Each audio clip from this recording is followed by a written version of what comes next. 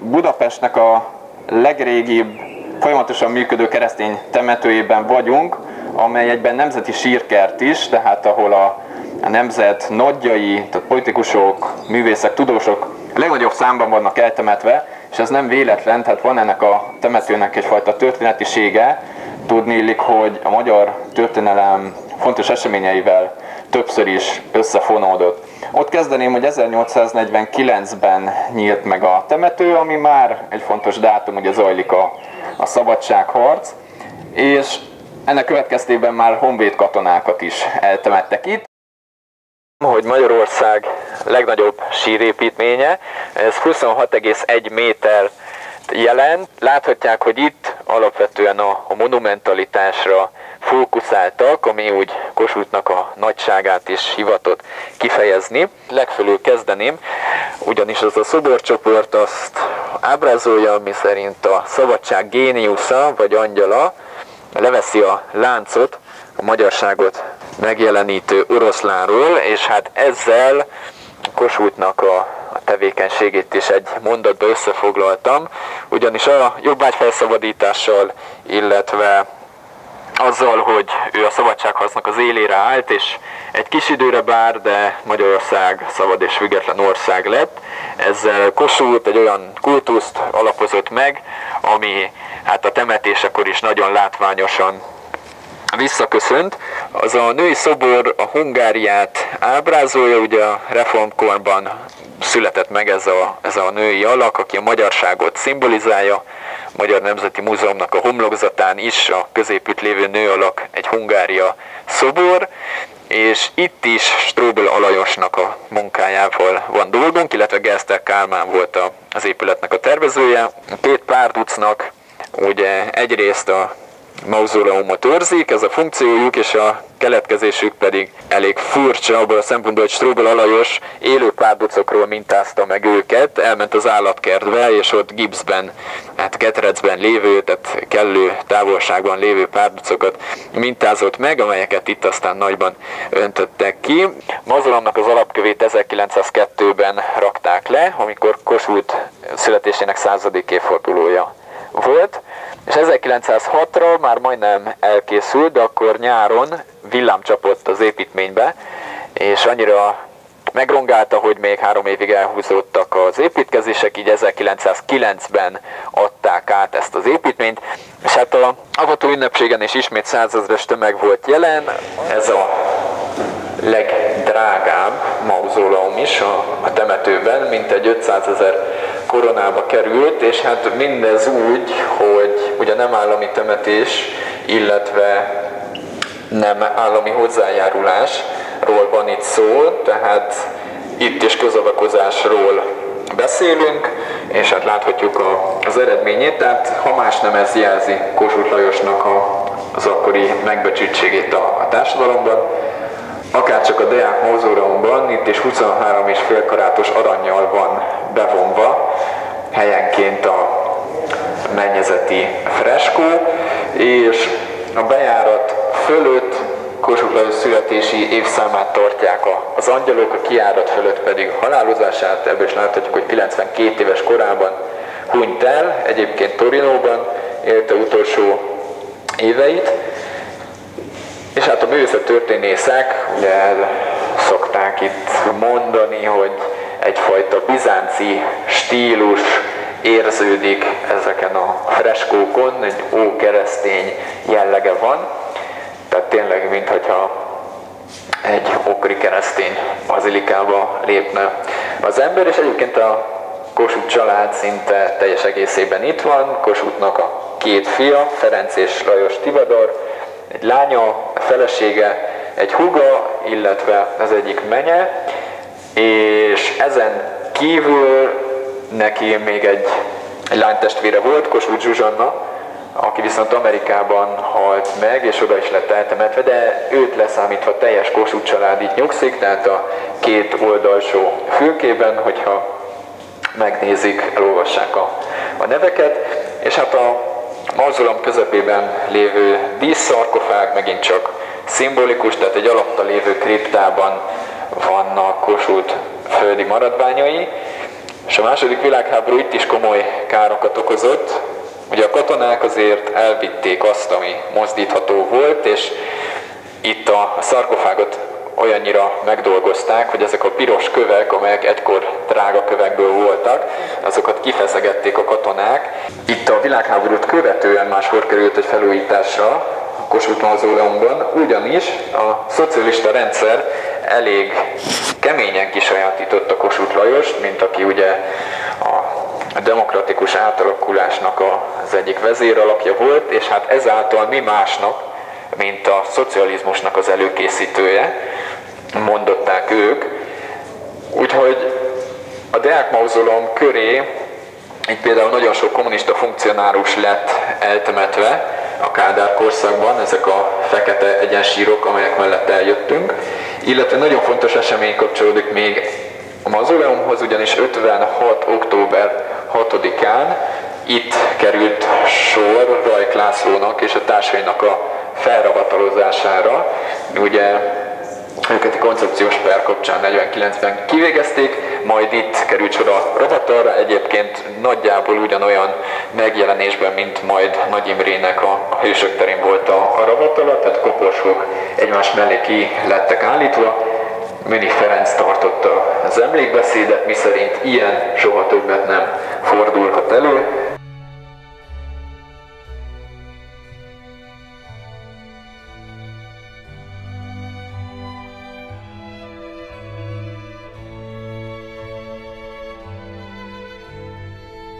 Tehát a temetőnek az első mauzóleuma előtt állunk, az 1874-ben felépült Battyány mauzóleum előtt, amely ugye Battyány Lajosnak a mártír halált halt miniszterelnöknek a síremléke, és itt Battyány sorsával kell kezdeni, ugye mindenki tudja, hogy 1849. október 6-án a Pesti új épület udvarán végezték ki és ugye ez köztudottan a példastatuálás céljával alakult így, tehát az osztrákok azt kívántak ezzel üzenni, hogyha a magyar miniszterelnököt, ugye akkor az egykori magyar miniszterelnököt ki lehet végezni, akkor a az ország többi lakosára vonatkozik az, hogy nem igazán érdemes forradalmakkal, szabadságharccal próbálkozni, de alapvetően őt teljesen törvénytelen módon ítélték el, és ő maga soha nem hitte el életében, hogy ez az ítélet ez valóban majd meghozatik, tehát hogy halára ítélik,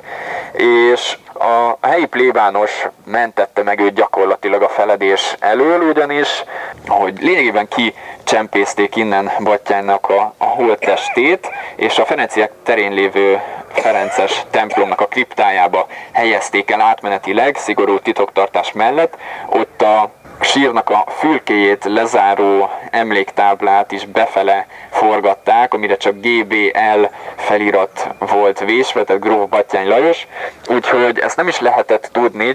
csak a beavatottak számára. Minden esetre, amikor a kiegyezés létrejön, 1867-ben, akkor enyhül a politikai légkör. Battyány újratemetésére is ezt követően kerülhetett sor, 1870-ben temetik előtt ide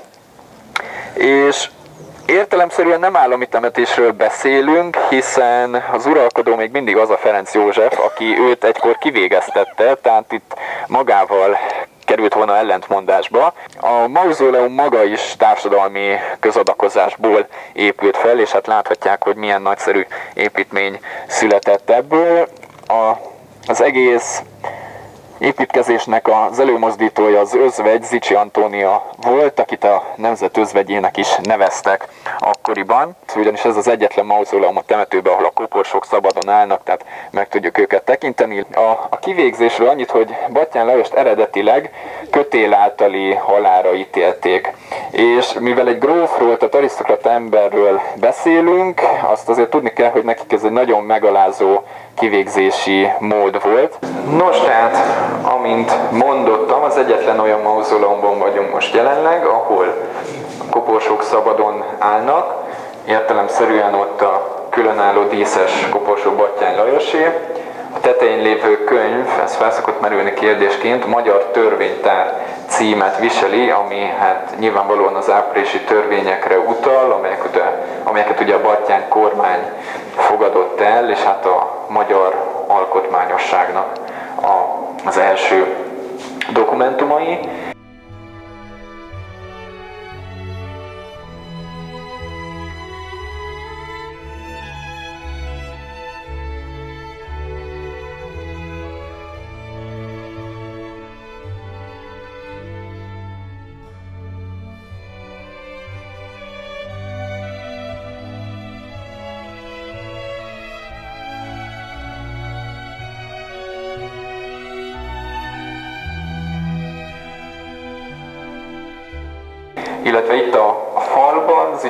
Antóniának, a feleségnek a koporsója.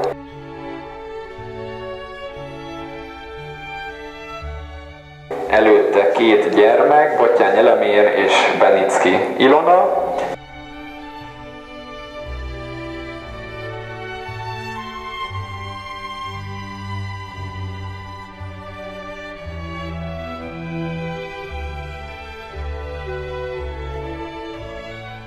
unoka, három éves korában hunyt el, Benicki Lea,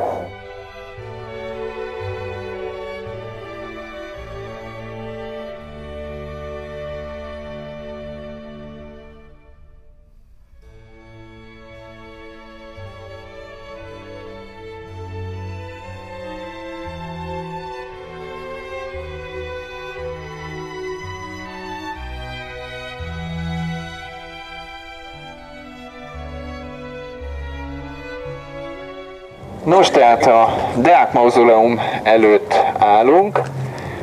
amely Gersztel Kálmán és Tróbel Alajos tervei alapján készült el. Ide hátra tekintenek, láthatják, hogy egy nagyon szép platán sor vezet ide. Ez a temetőnek a fő útvonala. Deák Ferenc nem véletlenül került a középpontba. Ugye ő, mint egy ízigvérig jogász ember, a, a kiegyezésnek a, a jogi alapjait alkotta meg magyar részről, tehát ugye általában a hazabölcse titulus az a kiegyezés művéhez szokott kötődni, Deák, aki felismerte azt, hogy valamilyen kompromisszumot az ország mégiscsak kénytelen tenni, annak érdekében, hogy itt egyfajta kulturális és gazdasági fellendülés mégiscsak lehetővé váljon, és hát a, a számítás az, az bejött, ugyanis az osztrák-magyar monarchiának az 50 éve alatt a példátlan gazdasági fejlődésen ment keresztül az ország. Hát a kulturális életről nem is kívánok itt húzamosabban beszélni. Ugye, tehát amit mondottam, a korszaknak a legnagyobb művészei dolgoztak ezeken a nagy mauzóleumokon, úgyhogy itt Székely Bertalannak a freskóit láthatjuk, aki hát leginkább az Egrinők című festményről marad meg az emlékezetben. Ugye itt is a vizesedés nagyon hamar kikezdte ezeket a műalkotásokat. 1887-ben avatták fel egyébként a Deák Mauzóleumot, és hát egy pár év elteltével már valahogy megoldást kellett találni a vizesedésre, úgyhogy mozaikba ültették át festményeket, amelyek Rót Miksa műhelyébe készültek, és hát így egyelőre legalábbis, és reméljük maradandóan is lehetett megmenteni ezeket a, a műalkotásokat. Ahol Deák Ferencet is láthatjuk, ráadásul két korszakából. Egyrészt itt bal oldalt középült a kék köpennyel övezett fiatal reformkori politikust látjuk, aki hát 48 van, és nagyon fontos szerepet vitt be a törvényhozásban, az áprilisi törvényeknek a megalkotásában, illetve jobb oldalt pedig a leghátul lévő barna köpenyben az őszhajú Deák Ferenc, már a hazabölcse, a kiegyezés után vagyunk, aki ugyanezt a hát nagyszerű művet végrehajtotta, a kiegyezést, ugyanakkor semmilyen politikai tisztséget nem vállalt, mind az országgyűlési képviselő volt, annak ellenére, hogy az ő pártja az úgynevezett Deák párt, illetve későbbi nevén a Szabadelvű párt szinte a teljes dualizmus időszakában kormányozta az országot. És itt két oldalt látunk még szövegeket. Egyrészt bal oldalon a 1876-os évből egy törvénycikk, amely Deák Ferenc érdemeit törvénybe iktatja, illetve jobb oldalon, hogyha megtekintik, Deák Ferenc című vers Vörös Marti Mihálynak a, a tollából. Vörös Marti, aki ugye 1855-ben meghal, de akik életükben nagyon jó barátok voltak, de Deák és Vörös Marti, olyannyira, hogy amikor Vörös Marti meghal, akkor a végrendeletében Deákot teszi meg a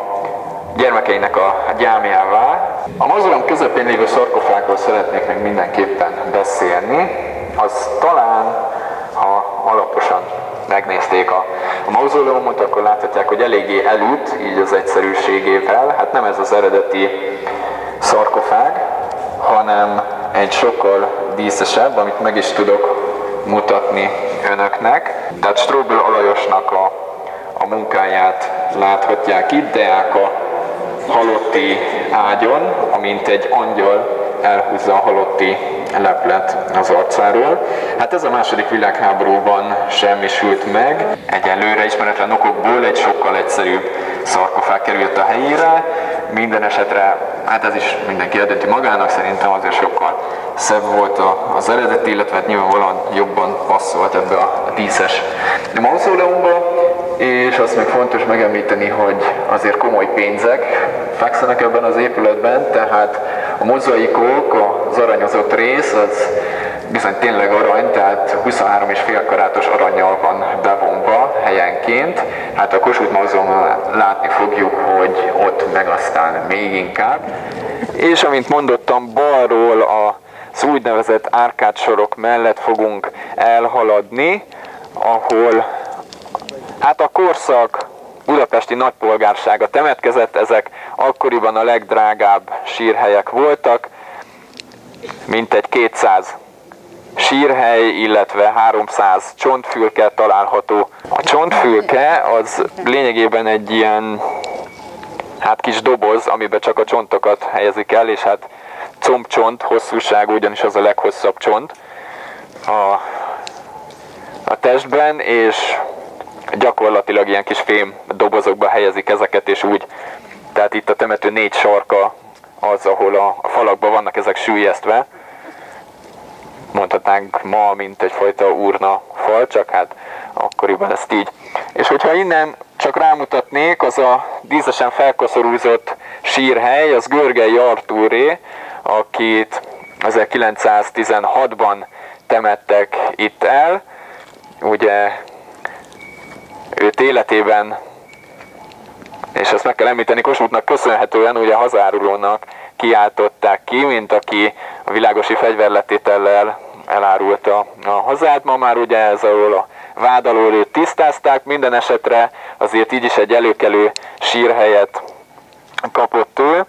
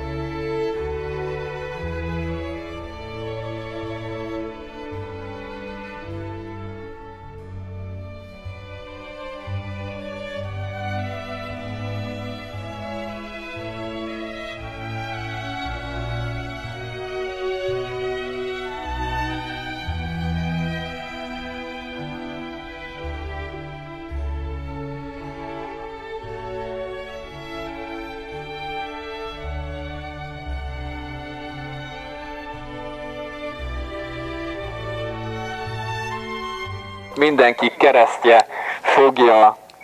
hát keresztezni az utunkat, ahol mindenki elhelyezhet egy virágot, elmondhat egy imát, mint egy presztízs kérdés volt, hogy kitemethet Deáknak a környezetébe, illetve hogy van-e még hely, mert elég gyorsan beteltek ezek. Hát itt most csak Erkel Ferencre mutatnék rá, Klapka Györgyre, akinek márciusban újították fel a síremlékét,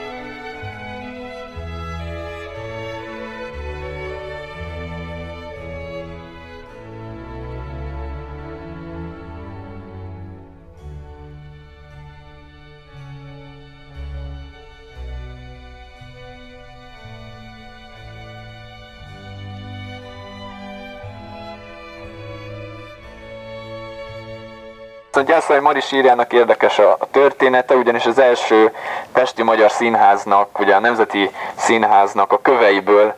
készült el a sírköve, az ugye mai Asztória helyén állt, és Jászai Mari, ugye őt nem kell bemutatni, egyik legnagyobb színésznőnk, ő a saját elképzelései szerint készítette el ezt a sírkövet, és nem csak, hogy látogatta a korabeli beszámolók szerint az ő sírhelyét, hanem bizony tett arról, hogy itt a baráti társaság az a halálát követően jó szívvel jöjjön ki ide megemlékezni. Koporsó az ismételten dísz, tehát egy alatta lévő kriptába nyugszik Arany János, és megint csak egy Strúbel alkotással van dolgunk. Fontos egyébként megjegyezni, hogy Arany Jánosnak az egyik versében, az úgynevezett Tölgyek alatt című versében, hát az a végakarata nyilvánul meg, hogy ha egyszer meghal, akkor neki nincs más vágya, mint hogy tölgyek legyenek a fejfáj, mint hogy tölgy legyen a fejfája, és ugye azt lehet tudni, hogy Aranynak a Margit sziget volt a kedvenc helye Budapesten. Hát ha máshogy nem, a végakaratát mégiscsak tiszteletben tudták tartani azáltal, hogy a Margit szigetről hozott töltfa csemetéket ültettek köré. Egykor hárman voltak, az egyik időközben kipusztult, de lényegében Arany Jánost, amikor 1882-ben ide eltemetik, akkor ezeket a csemetéket is elültetik, úgyhogy ezek a fák is már sok mindent láttak.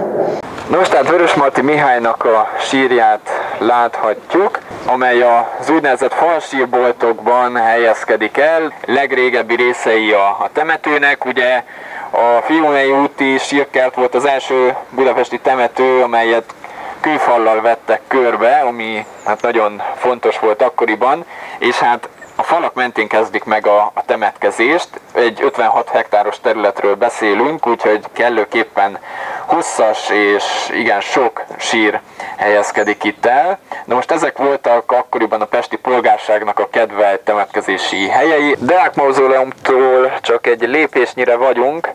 Antal Józsefnek a, a síremlékénél, akit, mint mondottam, 1993-ban temettek el ide a Fiumei úti sírkertbe, ami egy nagyon fontos temetés volt, ugye, szimbolikus, személy is Antal, azáltal, hogy a rendszerváltás utáni első miniszterelnöke volt az országnak. A nemzet nagyjai általában elmondható, hogy ők arra a sorsra vannak kárhoztatva, hogy dísírhelyet kapjanak, így aztán a családi sírhelyet sokaknak mellőzniük kellett, akár tetszett, akár nem, és így például Antal Józsefnek a kívánsága az volt eredetileg, hogy egyébként az a síremléken belül található egy egyszerű kereszt, tehát hogy egy ilyen egyszerű fejfa díszítse az ő sírját, de évek múltán hát mégiscsak felmerült az, hogy itt a rendszerváltás utáni első miniszterelnökét az országnak mégse lehet így hagyni, így körbe építették ezzel a síremlékkel, amely kapcsán eléggé megoszlanak a, a vélemények. Itt a szimbolika kapcsán el szokták mondani, itt láthatunk ilyen lovas figurákat, amelyek a, az ősmagyarságot szimbolizálják, illetve láthatunk szerzeteseket is, amelyek Antal Józsefnek a, hát a hívő életére utalnak.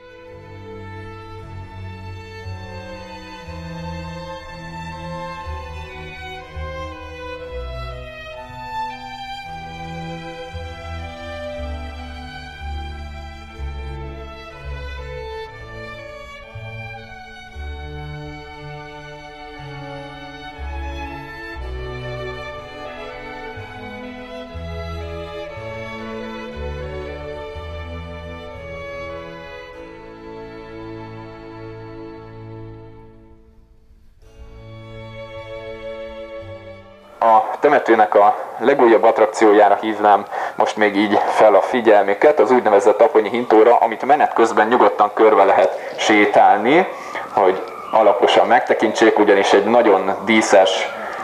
gyászintóval állunk szembe, amely Európa második legnagyobb gyászintója, mint egy 4 tonna